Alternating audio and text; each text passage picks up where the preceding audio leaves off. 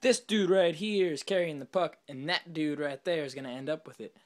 So both of them technically can be hit, and both of them get hit.